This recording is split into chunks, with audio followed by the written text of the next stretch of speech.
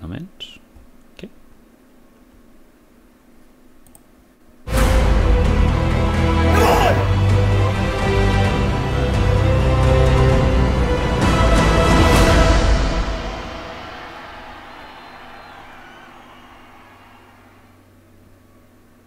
Ja. Das mit dem Intro hat nicht ganz geklappt. Aber keine Sorge, wir haben es ins Spiel geschafft. Das ist schon fast ein Stück weit wichtiger. Und schaut euch das jetzt bitte an. Müsst bedenken, das hier, das sind nicht nur Diamanten, das sind Challenger. Hier haben wir ein paar Diamanten. Hier haben wir ein paar Platinspieler, ein Goldspieler ist noch dabei. Bedenkt aber, das ist die letzte Saison gewesen. Und ähm, das sagt halt quasi wenig über die aktuelle aus, aber wir haben hier wirklich mit, mit ähm, Infac, würde es jetzt einfach mal der ähm, abkürzungstechnisch wählen, ein Team am Start, was halt unglaublich eingespielt ist und uns hoffentlich eine Show bietet, wo wir denken, boah, so will ich auch League of Legends spielen können.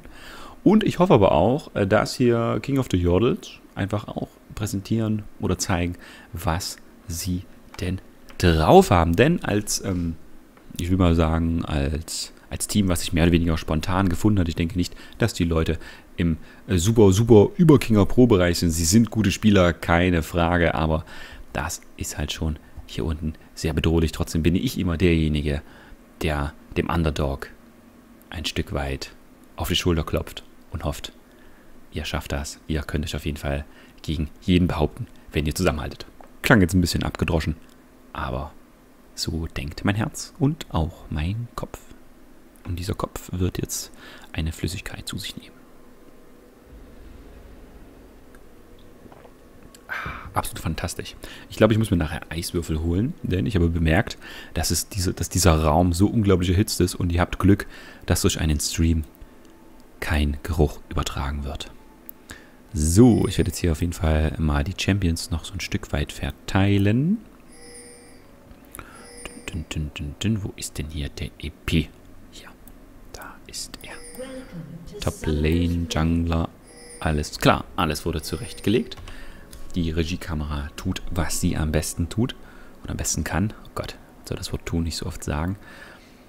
Wir sehen schon, dass sich so ein Stück weit verteilt wird. Man geht diesmal nicht als geballter Haufen invaden oder ähnliches, sondern versucht möglichst viele Eingänge zu bewachen, um zu sehen, okay, wo ist denn der Invade?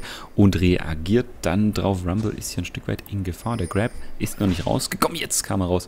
Hat vielleicht gehofft, dass man da noch äh, ihn vielleicht erwischen kann. Hat nicht geklappt. Und ihr seht schon, wie viel Mana ganz einfach dieser Spell drained. Das heißt, er muss sogar ein bisschen warten, ehe er das benutzen kann. Nicht nur wegen dem Cooldown, sondern auch ein bisschen wegen dem Mana, beziehungsweise hier haut es ja noch genau hin. Mit 240 hat sich wahrscheinlich auch Riot ganz einfach so gedacht.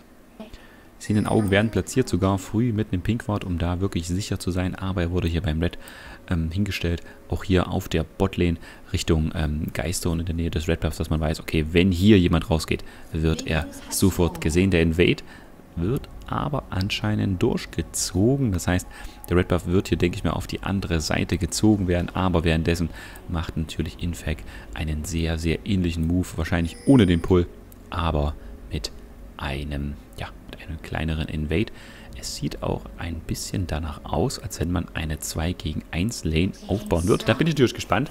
Diese, ähm, dieser Fakt wird ganz einfach relativ häufig praktiziert. Man muss da natürlich ein Stück weit geübt drin sein. Es ist nicht einfach, ähm, gegen zwei Leute sich zu behaupten, gerade dann, wenn Alice einen sehr gut zone kann und natürlich die CC ohne Probleme an den Mann bekommt und man jetzt natürlich zu dritt gegen einen eventuell fighten kann. Nein, man stiehlt jetzt ganz einfach nur die Buffs ähm, der Jawan hat ja den Move gemacht, dass er dann, dass er wirklich das Camp geklärt hat. Das gibt einem zwei Möglichkeiten. Natürlich wird er ähm, dadurch der Red Buff resettet. Aber wenn man weiß, wann man ihn getötet hat, weiß man auch, wann man wieder hin kann, um ihn ganz einfach ähm, erneut zu stehlen oder vielleicht sogar den Gegner in Bedrängnis zu bringen. Das bedeutet, der große Vorteil liegt dann ganz einfach darin, dass man sagen, okay, ich weiß jetzt, wer, ähm, wann, wann, wann der Buff wiederkommt, der Gegner weiß es nicht. Die Sichuani wird jetzt dort sein oder wird es wahrscheinlich schon bemerkt haben, okay, unser Red Buff ist weg. Aber wann genau, weiß sie halt nicht. Das heißt, Jarman kommt jetzt hier in die Mitte, kann ja auch den äh, Blitzcrank in die Luft werden. Das heißt, sie haben eine 2 gegen 1 Top Aber ihr seht schon, wie viel Damage er macht. Muss jetzt das sogar das Exhaust verbrauchen, hat aber noch das Flash am Shot, wird es wahrscheinlich... Buh, okay, wird nur flashen. Ähm, ein Grab wäre natürlich jetzt sehr, sehr auffällig gewesen. Wir sind hier nicht im Bronze-Bereich, sondern im Challenger. Das heißt, damit wurde, denke ich, gerechnet. Wir haben aber die 2 gegen 1 Midlane. Das bedeutet, hier wird noch ein Stück weit geswappt Das heißt, Oriana wird sich gegen Malphite behaupten müssen. Da bin ich auch gespannt, wie das Ganze für sie verlaufen wird. Denn das Problem ist ja, dass ähm, der EP-Champion ähm, einen sehr, sehr weiten Heimweg hat. Man ist jetzt in der Mitte. Uh, jetzt wird er nochmal versucht zu engagieren. Jetzt wird er nochmal hochgeworfen, nochmal ins gegnerische Team reingeworfen und Blitzwing verabschiedet. Das bedeutet First Blood für den Java bzw. für Infect. Das war gut gemacht, dass halt wirklich Alistair da sofort zur Stelle war, ihn hochgeworfen hat und dann natürlich entsprechend auch Distanz überwunden. Der Supporter ist damit schon mal down. Man kann gut Damage anrichten. Oriana kann sich hier auch ebenfalls noch gut behaupten. Muss natürlich schauen, wie es mit ihrem Mana-Haushalt aussieht. Hat hier noch die ein oder anderen Pots dabei, hat sich nicht für die Flask entschieden, wie es einige tun. Ich denke, sie weiß, was sie hier macht. Lane mittlerweile die 2 gegen 1 Situation. Blitzcrank wird, denke ich, bald zurück sein. Ist auch schon Level 2, das heißt, seine klassische Kombo aus dem Grab und dem Hochwerfen ist definitiv am Start. Auch Oriana versucht hier mit ihrem Ball so gut wie es geht zu farmen, denn Malphite scheint jetzt erstmal hier etwas stärker pushen zu wollen.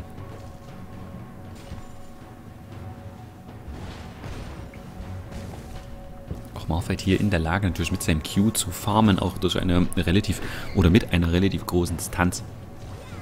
Ist natürlich wichtig für ihn, aber es draint das Mana bis zur Verzweiflung. Das heißt, da muss man schauen, wie oft man diesen Spell da verwenden kann, gerade dann, wenn man ihn hochskaliert. Rumble hier kann sich ganz gut gegen Cannon behaupten. Beide haben nicht das Problem, dass ihn irgendwie das Mana ausgehört. Nur Cannon muss halt schauen, dass er mit seinem ähm, Charge, will ich mal sagen, mit, seinen, mit, seiner Beschleunigung in der Lage ist, jemanden zu treffen, weil der dadurch ein Stück weit Energie wiederherstellt. Aber Cannon wurde ja diesbezüglich auch geändert, dass seine Ulti keine Energie mehr kostet. Somit ist das auch kein Problem, falls er da keinen direkt erwischen sollte. Zuvor war es, also vor, dem, vor den Patch-Änderungen bezogen auf ihn selbst, war das unglaublich wichtig, dass er dazu in der Lage ist. Malphite ähm, skaliert hier auch sein W. Wird ein Stück weit Damage und Rüstung dazu bekommen. Das ist fürs Last Hidden wichtig. Außerdem neigt man dazu eher zu pushen und das ist ja zurzeit seine Strategie, dass er die Gegner an den Tower zwingt. Die Midlane hier relativ gediegen. Das heißt, Alistar kann natürlich hier bei Bedarf hochheilen. Die Mana-Kosten sind zu Beginn vergleichsweise gering. Und außerdem hat man ja hier noch die Dorans Klinge, damit hier ähm, auch mit jedem Auto-Attack ein kleiner Heal entsteht. Oriana traut jetzt ziemlich weit nach vorne, will natürlich die Last Hits bekommen, weiß aber wahrscheinlich, ich werde wahrscheinlich nicht gegen den Malphite so schnell sterben. Schöner Grab, hat aber natürlich den Alistair gewählt, das heißt, alle werden sofort hochgeworfen. Trotzdem ist der Schaden hier vergleichsweise hoch, das bedeutet, mit Redruff kann man hier noch den Kill bekommen. Und Tristana mit ihrer hohen Reichweite hat das noch geschafft. Guter Grab von Blitzcrank, konnte natürlich, da sie es hier an den Mann bringen, wurde zwar selber hochgeworfen, weshalb man auch oft den ähm, Alistair als sozusagen als Counter von Blitzcrank bezeichnet. Hier hat es überhaupt nicht funktioniert, gerade der Jungler hat ihn natürlich die ähm, Procs an den Mann gekriegt. Hier den Grab kurz verfehlt, ist aber nicht schlimm. Jarvan bereitet sich jetzt hier auf den Top-Lane-Gang vor. Zack, schön die Standarte noch getroffen. Der äh, Spitter natürlich hinterher den zweiten Slow leider nicht gebraucht, aber ich denke, die Auto-Attacks machen es noch. Ui, das war sehr, sehr knapp. Man hat aber das Ignite trotzdem gut berechnet, zumal er jetzt gerade ohnehin seine Ulti hat. Das bedeutet, er hätte auch noch aufs große Distanz seine Raketen runterdonnern können und auch der leichteste Treffer hätte da zum Tod geführt. Das bedeutet, Infake macht seine Sache gut. Die Ulti nochmal zum Unterbrechen anscheinend des Rückports. Das hat mich jetzt irritiert. Bin mir sicher, ob das ein Missklick war, aber ich denke, die Leute werden schon wissen, was da ihre Strategie ist. Java noch nicht Level 6, kann also nicht reinjumpen. Wird sich da, denke ich, zurückziehen. Eventuell den ähm, noch ein anderes Minion-Cap anvisieren, um ganz einfach das Level aufzusteigen. Malphite wird sich zurückziehen, hat hier ganz schön viele Health-Pots am Start, wahrscheinlich mit äh, größerem Harass gerechnet. Das heißt, ihm ist eher das Mana ausgegangen. Portet sich nun auf der Botlane zurück. Midlane versucht natürlich dann entsprechend in aller Ruhe zu farmen können jetzt mal vielleicht den Farm so ein bisschen äh, drehen, beziehungsweise eigentlich können wir das hier, was die Skalierung angeht, noch so lassen. Beide Level 5 können sich also noch relativ gut prügeln, wobei man sagen muss, dass sie halt hier mit dem Leben skaliert und da das, denke ich, ganz gut macht. Sie richten halt beide identischen Schaden. Jetzt hat die Frage, inwiefern man noch hier weiter inveden kann. Der Red Buff ist quasi das Ziel. Man sieht schon mit der Standard, da gibt man nicht nur Vision, sondern beginnt natürlich das Ganze ein Stück weit zu pullen. Hier zwei Wards am Start. Das heißt, hier kann man schon den ersten kleineren Fight sehen. Hier muss natürlich der Ezreal aufpassen, dass er nicht zu nah rangeht. Jetzt die Ulti von Malphite hat lediglich den Javan erwischt. Alistair ein bisschen hier ohne Mana, das heißt ohne Mana auch keine Fähigkeit. Tristana kriegt hier ein bisschen Schaden ab, schafft es aber trotzdem noch überleben. Beide Teams halt mittlerweile äh, relativ low, beziehungsweise nur Javan und Alistair auf Seiten von Impact und das Team von The King of the Yordles wird sich zurückziehen müssen.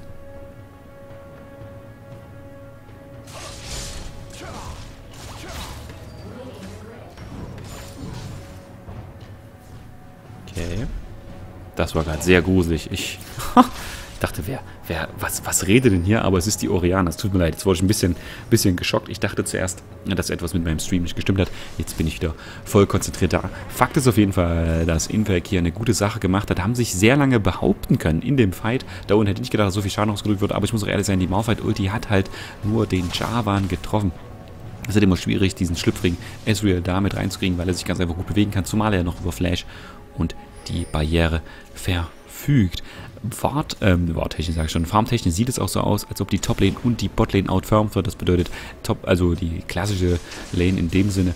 Kennen hat da große Probleme, hat sich auch nicht für die Dorans Klinge entschieden, wird jetzt hier auch ganz schön vertrieben von den Rumble. Er selber hat noch keinen Ult, ich weiß nicht, ob er jetzt aus großer Entfernung noch runter donnern wird. Ja, er macht es, die Frage ist, hat er ihn getroffen? Nein, er wollte lediglich den Weg abschneiden, beziehungsweise hat er, nein, er hat nicht geflasht. Schade, Popade hat sich natürlich selber gesilenced. Das heißt, er konnte die, die Ulti nicht direkt auf ihn landen. Hätte natürlich zum Kill geführt. Wichtig ist aber, dass man ohne den, also oder zu Beginn zumindest ohne den Ulti-Einsatz, den Gegner vertreiben konnte.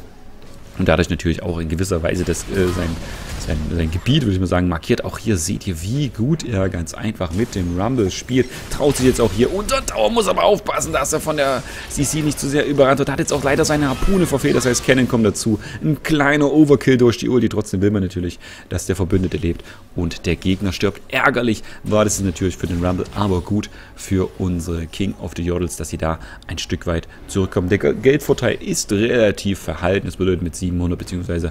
Ähm, vor uns war es ganz kurz 600 Gold, ist das natürlich ein minimalistischer Unterschied. Wir werden auf jeden Fall sehen, wie das Spiel weiter verläuft.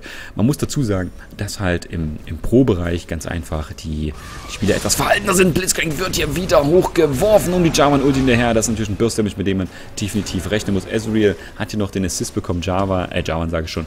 Der Alistair leider gar nicht, hat sich mehr oder weniger nicht beteiligt. Hätte vielleicht noch einmal den Heal brocken können damit er ein Stück weit Geld bekommt. Wobei man auch sagen muss, dass dadurch derjenige, der den, ähm, also der Assist-Tragende, in dem Fall der Ezreal, ja den Vorteil hat, dass er ein bisschen mehr Geld vom Assist bekommt. Schöne Kombo mit der Kopfnuss und dem Hochwerfen, das hat gut geklappt müssen wir schauen, wie man jetzt von der ganzen Sache profitieren kann, denn es sieht so aus, als ob der SOE stark auf den Farm fokussiert. Es hat sich auch nicht für das Bluebills entschieden, sondern hier die, äh, das Bildgewasser besser ausgepackt. Oh, das war sehr, sehr schade. Der Sprung wurde quasi noch ein Stück weit verlängert. Hätte er ihn jetzt hochgeworfen, wäre, denke ich, Tristana dahin geschieden. Denn muss überdenken, dass das Q von SOE schon ordentlich Damage macht, hier knapp über 200. Da muss man aufpassen seinem Lebensbalken. Ich werde ganz kurz schauen, ob er irgendwelche Durchdringung startet. Na, er hat nur die leichte Penetration dabei.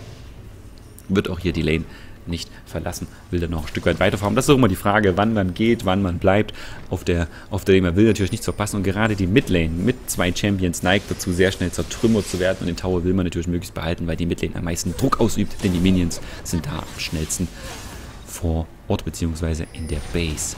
Dragon wird jetzt nun von King of the Yordles gemacht. Eine gute Idee. Man kann ihn hier in dem Sinne nicht contesten. Die Toplane drückt zwar hier ordentlich dagegen, aber das Team von Infect ist da ganz einfach nicht schnell genug da. Wurde jetzt nun gesmited. Man zieht sich, denke ich, soweit es geht zurück. Wartet noch ein Stück weit.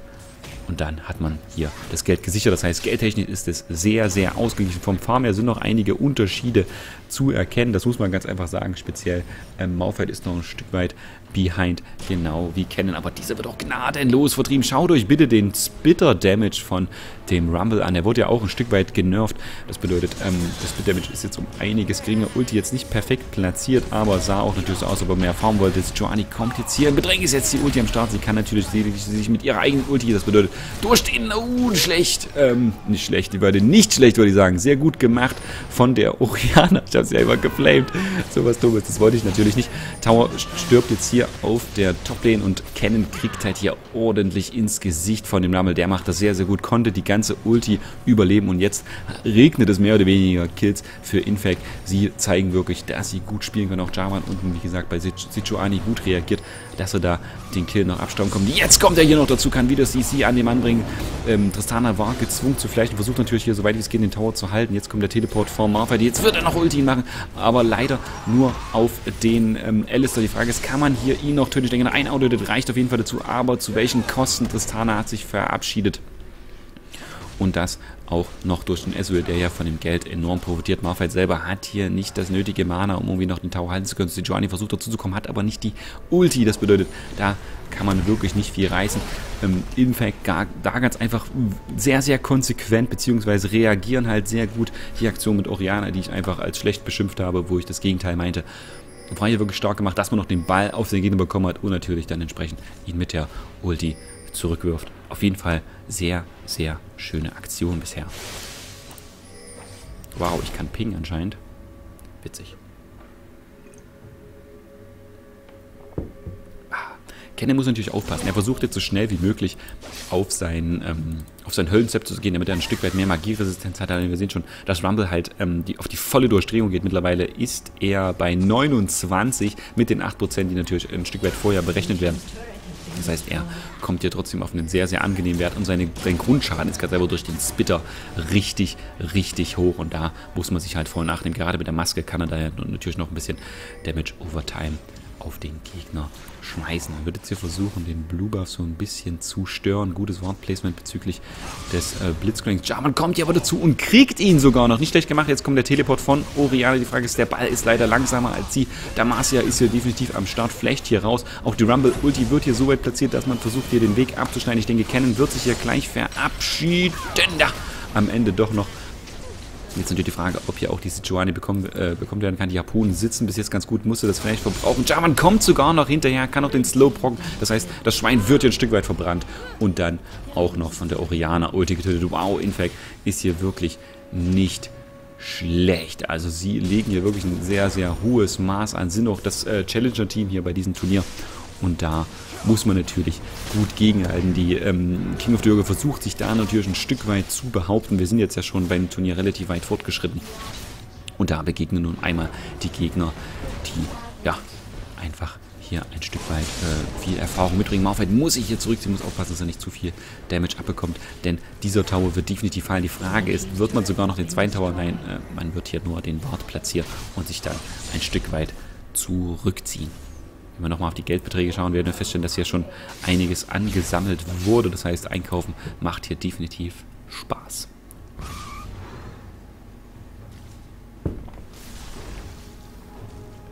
Rihanna muss hier ein Stück weit fliegen, kann natürlich den Speedbuff ausnutzen, um da wirklich wegzukommen. Jetzt hier noch ein bisschen tanzen. Red Buff erneut an Java. Der AD Carry benötigt es noch nicht. Ezreal selbst wählt auch noch nicht das Blue-Bild, sondern er geht wirklich auf den Damage, beziehungsweise so auf Semi-Damage. Blade of the Rune King hat ja auch ein Stück weit Utility, wenn man den Gegner slowen kann und damit auch ein Stück weit Damage am Gegner anrichtet.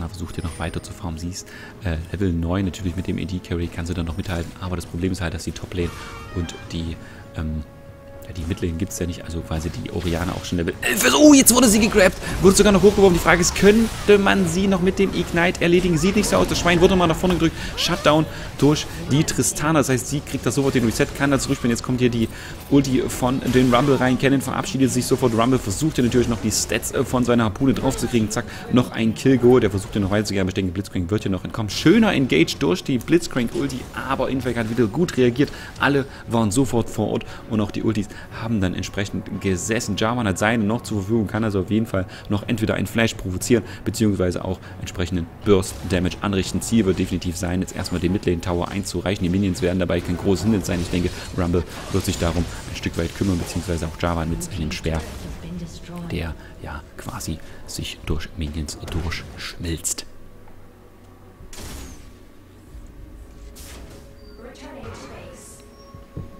Wow, die Sprüche von Oriana sind einfach nur gruselig. Zumindest klang das jetzt so, dass es wieder sie war. Das bedeutet, King of the Jordans müssen sich jetzt natürlich jetzt stark konzentrieren. Sie haben gut gegenhalten können. Jetzt wird es ein bisschen problematisch. Vor allen Dingen killtechnisch sind sie da ein Stück weit zurückgefallen vom Farm her. Versuchen sie aufzuholen. Die Midlane, also die ich, ich, werde jetzt einfach lieber nicht die Lanes bezeichnen, sondern die Rollen. Also die Carries haben da einen sehr, sehr identischen Farm. Wenn ich mir aber die EP-Caster angucke, werde ich natürlich feststellen, dass Kennen da ein Stück weit behind ist beziehungsweise quasi nur die Hälfte an Jarvan kann hier engagen. Sehr, sehr tanky Ulti von Ezreal hat der niemanden getroffen. Trotzdem sind, oh, das ist eigentlich schon die Kombination mit der Oriana-Ulti ist natürlich grausam. Alle jetzt sehr, sehr low und der konstante Schaden von Rumble teilt hier natürlich ordentlich aus. Denke, das Schwein wird hier nicht mehr überleben. Auch gute Ulti von Rumble, dass er hier den Weg von dem abschneiden konnte. Lediglich die Tristana konnte mit ihrem Jump noch überleben.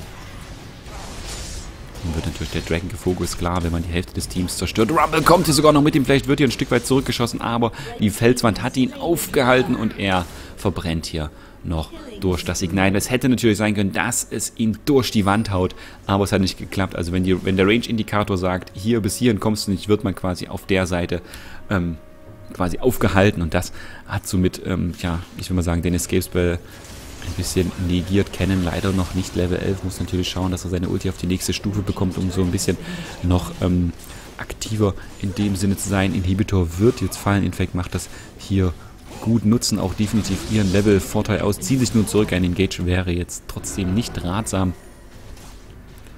Und Infect kann sich definitiv behaupten. Zwar ist es so, dass die Sichuani, also das Schwein, wie ich sie zuvor bezeichnet habe, ein Stück weit mehr Farm als Javan hat, aber er selber hat hier so eine gute Jungle-Präsenz bisher gezeigt, dass er halt viel durch die Kills und durch die Assists ganz einfach rausholt. Sieht schon, die Geldunterschiede sind vergleichsweise groß. Trotzdem ist ja nichts entschieden. King of the Yordles muss, müssen halt so ein Stück weit mit Blitzcrank arbeiten, dass er wirklich wichtige Ziele rausnimmt. Ich denke, der Alistair wird dir noch nicht entkommen. Guter Grab, hat den Flash abgewortet, Kurzposition getauscht. Und nun hat man die Möglichkeit, den Dragon, so ein, äh, den Baron meine ich, so ein Stück weit anzufangen. Muss natürlich aufpassen, lediglich der Supporter fehlt. Und die Oriana pusht derweil die Top, äh, die Botlane weiter. Teleport nun an diesen war. Das heißt, hier kann man unerwartet noch hinzukommen. Alles sind relativ low, was natürlich für Oriana unglaublich attraktiv ist. Die Frage ist, wie lange wird hier Rumble überleben, wenn er diese Position halten kann?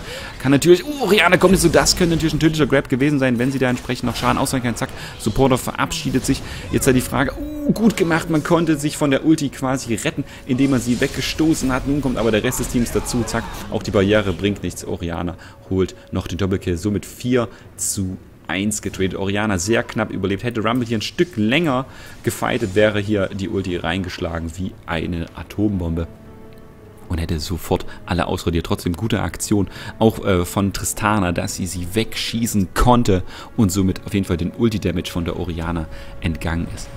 Währenddessen versucht ja Morphed so ein bisschen die Botlane zu verteidigen. Nein! Mann gibt auf. Nicht schlecht gespielt von beiden Seiten. Ähm, King of the Yordles konnten sie super halten, meiner Ansicht nach, aber Infect einfach ein super krass eingespieltes Team. GG, würde ich mal sagen. GG.